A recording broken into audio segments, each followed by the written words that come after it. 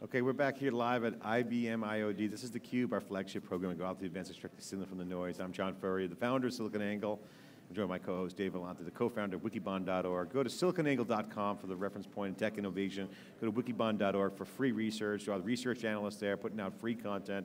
And of course, uh, you always come by the Cube and see where we are in the events. We're going to be at uh, Amazon Web Services event. We'll go all the events, extract signal from the noise, and share that with you. Uh, our next guest uh, is Tom DeClerck, uh, CIO of Superior Group. Welcome to the Cube. Thank you. Um, Dave, you and I love to talk to about CIOs because you know, then we get the real scoop on things. so first, why are you here at IBM IOD? Let's get that out of the way. Let's talk about some of the things you're doing here and sure. what you're seeing here. Sure. So we, uh, so I've been with the company three years. Um, we're a, a, staffing organization. Uh, why I'm here, I was actually here last year, and um, we implemented three major systems in the last three years. One was SAP Enterprise, ERP system. Second being uh, IBM Connections, and the third being uh, IBM Cognos.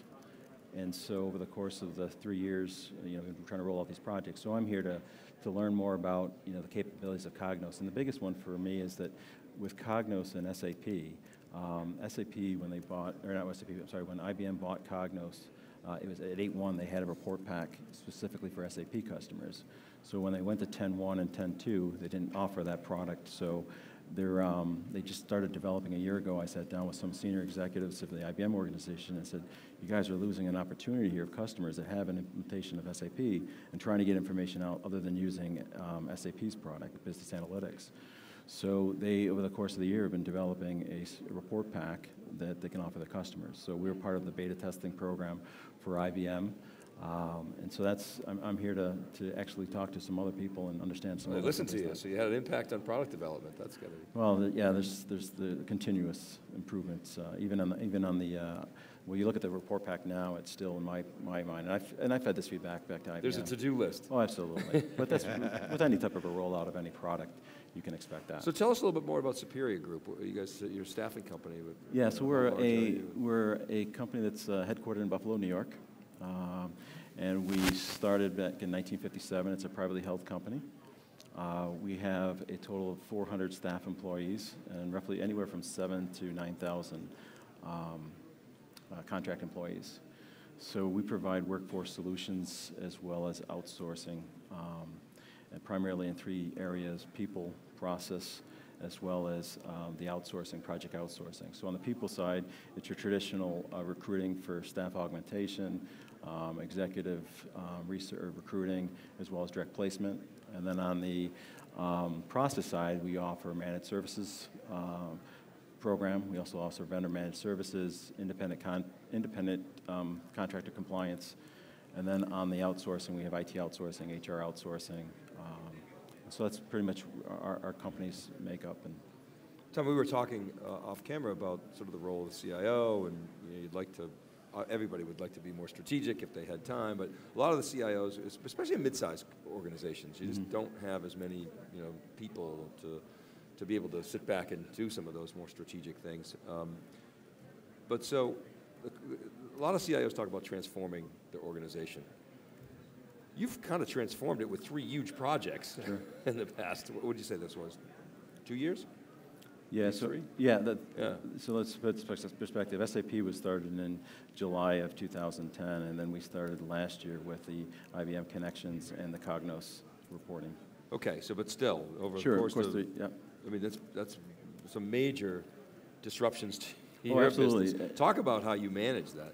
So uh, it was extremely challenging, especially given the number of resources that we have. We're a, a mid-sized company, um, and when I so I came from a manufacturing organization. Spent 15 years working for manufacturing So going from that vertical into a professional services vertical, I was used to used to having a lot of uh, IT resources to be able to support um, an organization. So um, you highly leveraged the, the uh, contractors and consultants, um, both with SAP, um, their implementing partner as well as um, an IBM. It was critical for us to, to leverage IBM's knowledge and, and their skill set in order to be successful in rolling out our products. So the SAP rollout was, was the most complicated, I presume, Oh, absolutely. Right? I mean, by far. Oh, right? by far. It took, took literally yeah, years we, to do. Yeah, so we rolled out ECC 6.0, their latest, with a full suite um, payroll. So we're, we provide payrolling as one of our services. So HCM, which is human capital management, the sales and distribution, material management. So a lot of the fun, fundamental components of SAP we rolled out. So um, it was uh, it was quite a an interesting experience to say Was that, least. was that core uh, Yes. human capital management or success factors? No, it was core. We've looked at success factors about, about a year ago, uh, and it just doesn't fit, quite fit at this point in time.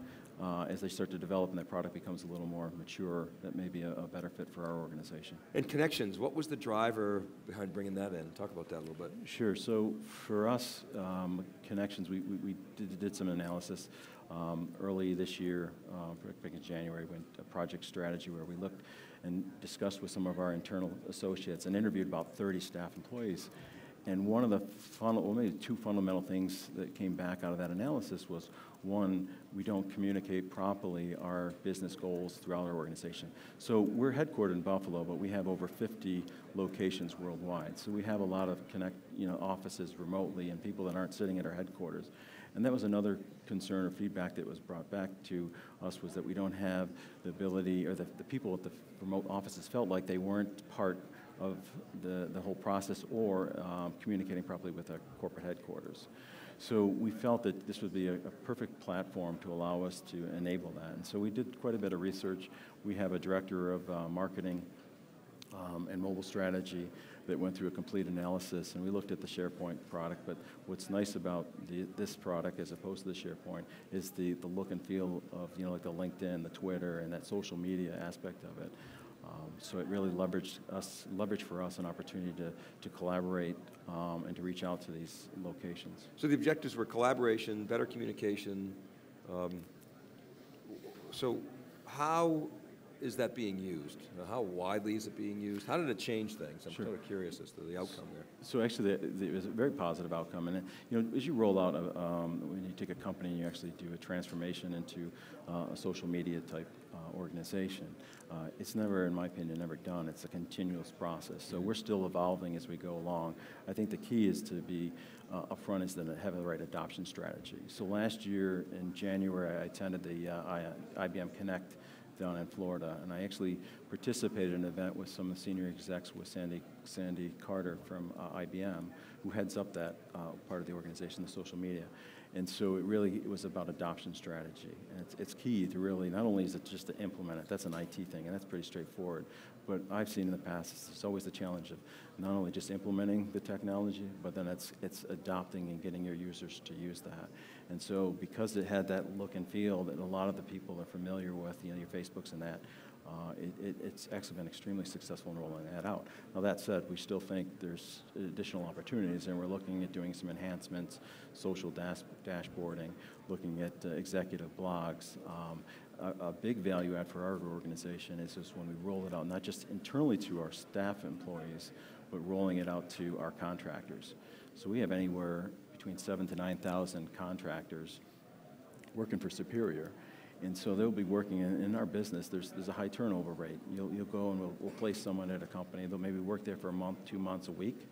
And that when they leave, that knowledge goes away with them. So our, we're really targeting our value add to be able to roll this out to even to our contract employees. So when they go work on site, they start to collaborate, share information, and in the event that they do leave, we've, we've, we've still harvest that information. And that's bi-directional too. I mean, they're a representation of your company, uh, even though they, they're transient, but Mm-hmm. so you can communicate to them, like you say, executive blogs, what the, what the corporate messaging is, policies, whatever it is, that they can take into, as representing you essentially as an extension of your workforce, and as you say, you get knowledge back, right? Oh, absolutely. And so one of the, the, the key values that we, we place is that when we did that analysis that I said earlier, is that we didn't feel like there was a communication. So now with the social media platform in place now, we have people that are in our Bangalore office can communicate and feel like they're in touch with our corporate headquarters and also with their, their coworkers that are sitting at on-site facilities at our customers.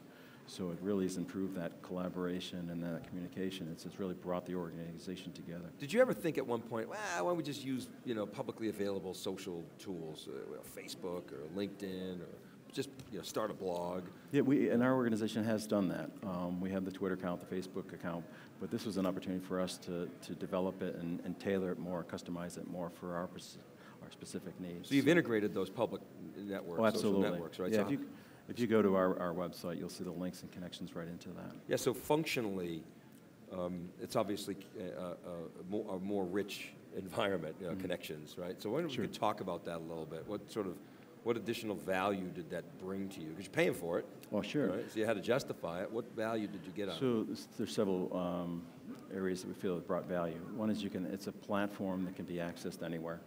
So you don't have to be on our internal network to be able to access and collaborate and communicate, right? So that was a huge value add for our organization. It allows us to connect and stay, stay together. It empowered our users to be able to um, contribute uh, openly, um, be able to collaborate, to be able to innovate, um, and be able to take calculated risks. Um, From an IT standpoint, we see a reduction in email. Uh, I don't have the actual numbers to tell you what percentage reduction in email, but I'm pushing very strongly that we have an opportunity to use and leverage connections instead of sending emails. Traditionally, you know, people will send an email, check this, where with connections, you put the, post the content, or you put the files, upload the files in there, and they'll send a notification, so you're not plugging, you know, plugging up your email system with additional data, so. Yeah, there's a productivity aspect to that too, right? Absolutely. And I think, oh, go ahead. I was just going to say, and the other thing is that, you know, the time to, to market for solutions um, has definitely reduced, and, and even the, the increase in efficiency. So I know we, we, we spent some time um, looking at, um, I think it was Ed Brill's book on opting in, and then there's his, his situation he identifies in the book is the traditional product manager that you find in, in manufacturing is really moving more towards a social product manager, leveraging the IBM connections, where for Superior we took an opportunity to do that. So I got to ask you about the social software. Dave and I have been tracking Jive, all these other companies, Yammer. The Facebook for the enterprise is kind of what they've been calling it. But the feedback we've been hearing from CIOs was that I just I, I signed something. It's it's in the social media team is running it. That other team. Mm-hmm. And so we were talking about the metaphor that the social media teams are a lot like the web teams in the 90s. Mm-hmm. Oh yeah, we need a website. Yeah, the kids are doing it, right? Like the, the, the new guys, the young guys are putting. We got web pages, searchable. It grew. Obviously, it's relevant. The websites grew and became big business e-commerce. Social media is the same way. It's like everyone can see that it's real. They know it's going to be important.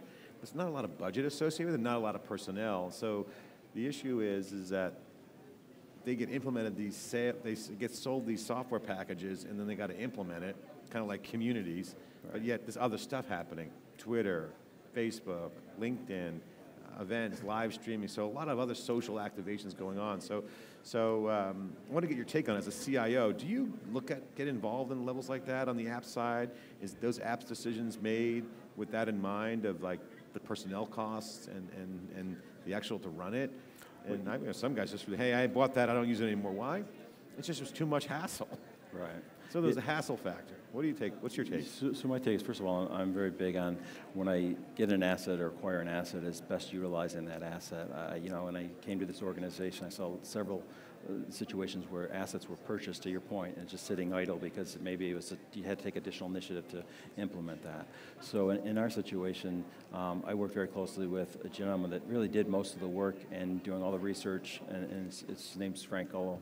Uh, he handles our, he's our director of digital um, mobile strategy. And so he went out and did all the work for us, came back and sat down with myself and our president, reviewed what makes the most sense. I came from a, a manufacturing facility that utilized the SharePoint, so I was big at SharePoint. Uh, so I was kind of was pushing in that direction. But when I actually sat down with him and we went through really the true value adds what we can gain from that, it was really a no-brainer for us. Do you ever have a situation where you, you, put, you put your fist down and say, hey, you know what? We just got to abandon that right now. Let's cut our losses, move on. Uh, in, in particular example, there's another use case where same, same situation, I won't name the vendor, uh, it wasn't IBM. It was another one where, hey, we want to do some new things. Well, we don't have the staff. The guy's making us drive this engine until we get an ROI out of it. In other words, they were like, we're going to ride this pony until it either collapses or ROI comes out of it. When in reality, they're just driving down a cul-de-sac.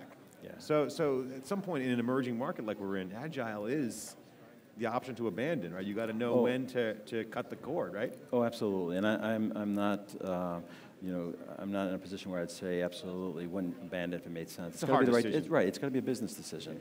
U- Ultimately, uh, my, my position has always been it's you got to work with the business and let the business drive it, not IT. IT is there to enable the business, so we can provide our input, and on the day they let them make the decisions.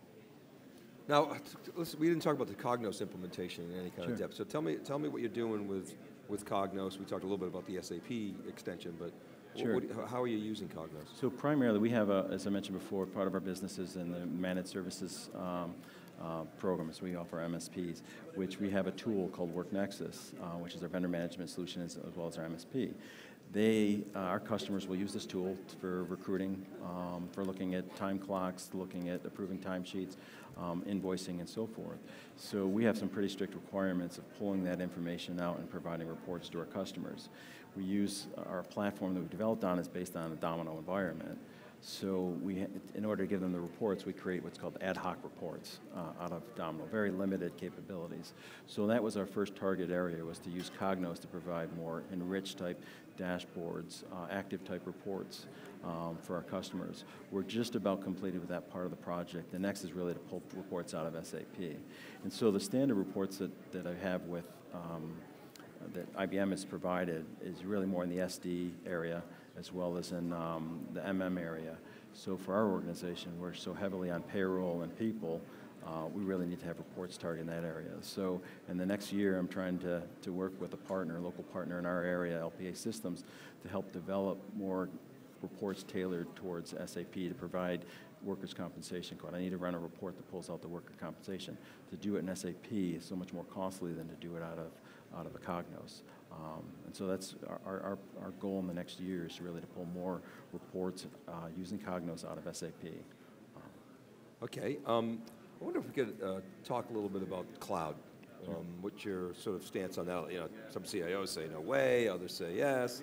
Others got, you know, shadow IT going to the cloud. What's the state of, of cloud from an infrastructure standpoint uh, and even a SaaS at your organization? Sure. So we're currently in the process, actually, uh, I'm looking at our organization and a traditional IT become a cost center. So I'm trying to actually move it into a profit center by offering services. So we're targeting in the Buffalo area, anyway, small companies we're offering hosting, cloud-based service, whether it be private or whether it be a public cloud services. Um, I'm not opposed at all to using a cloud-based solution. In fact, I'm, on- my SAP side, for my DR site, I'm doing just that. I have a, a contract with a, with a company that's providing me a, a cloud-based solution for my DR. Okay, so, um, but, so, you- so you use it for, for disaster recovery. Are you doing any sort of production apps in the cloud, or would you ever consider doing that, or? No, because we, uh, I would consider, I'm not sure if I'd consider this company, because our information is, is very, is very controlled. Um, we fall under the SSAE 16 because we house, we host data that has, and the HIPAA regulations, all the different regulations. So we have people's social security number and that. So to offer that in the cloud, not to say that it's not secure, but we have much better control, and we have an infrastructure in our organization that has enough bandwidth, um, has enough cooling, all the, the normal environmentals that you would have for a data center. So right now, for us, it makes more sense for us. But in three to five years from now, maybe even sooner than that, we'll probably look at possibly what's the cost differentiation between doing it in-house, having the resources to do it versus offering. What about test and dev? Are you, are you doing any test and dev stuff? in Oh, yeah, oh, yeah, so we have, in our SAP environment, we have a traditional three-tier uh, landscape, so we've got dev quality um, and the production, all of which is housed inside. Um, The decision actually to have that, to have that done was before I joined the company. So we, the decision was made, let's say in May of uh, 2010, I joined in July. Um, Had I been beforehand, I really would have pushed to have that hosted somewhere else because, in my opinion, for an organization especially like ours, we don't have the technical expertise to be able to manage, you know, the basis cap- capabilities, the architecture, the hardware, all that type of stuff. So I think that's a, it's a better fit for most people when doing SAP implementations of looking at that maybe the first, second, or third year, if you, especially if you don't have that experience, if you're new to an SAP type environment. Are you, So you doing any Hadoop? No, No? no, No, no use case for it, right? no, uh, Uh, using Bitcoin at all? No? We're not- were having a fun Conversation? conversation last night about Bitcoin. and, uh, Uh, Still don't get The it. next tulip craze would, you know. y- Yeah. PayPal's looking at it, it's in the news, Dave. It's not mainstream enterprise yet. We love, we love talking to CIOs. You know, obviously, at Wikibon community, we have a lot of CIOs. We have a lot of CIOs in our network, and uh, you know, it's a challenging opportunity. But the days, the good days are ahead. I mean, we're seeing a huge investment opportunity, um, growth, new new top line drivers. um, that are changing the business where the CIO is kind of CEO-like, dealing with all the normal cost side, but really driving profits. So, so I got to get the, the question before we end the segment is uh, cost center versus profit center, and, and you guys you mentioned you guys are now P&L profit center. Right. How does that change the game, mindset-wise, and how you execute, and what you can adopt, and how fast? Well, obviously the owners of the organization love the fact that we're, we're offering that as, a, as an opportunity to generate some additional revenue. I'm assuming you took the, the facilities equation out of your P&L, yeah. right? Well, what's No. it- so before, before I joined the organization. Did you write that down Yeah. yet, or? Well, I keep track of that for sure. okay, go ahead. Uh, but before I joined the, the, our organization, I, I joke, jokingly say this, we had more bandwidth than some banks. Um, I mean, we really had the, the, the infrastructure in place, um, and fully redundant and so forth. So we had long-term contracts. So I've got five-year contracts with services, with companies that I have to keep. Uh, otherwise, you can pay the penalty and get out. But um, so we said, you know, why not leverage? And, and we did a virtualization project when I first joined. We, we recovered over 50% of our data center space. So I have all this empty space. I have all this bandwidth sitting here. I've got all the redundancies and the environmentals um, to be able to support that. Why not go after small companies? I'm not going to be able to compete, you know, with the, the bigger companies and that. But we're, we're, we're targeting some of the local companies, and uh, we're doing quite successful. Yeah, why not? That's great. Yeah. Awesome. Okay, right, we're Tom. here live at the IOD conference. This is theCUBE. We'll be right back with our next guest after this short break. Stay with us.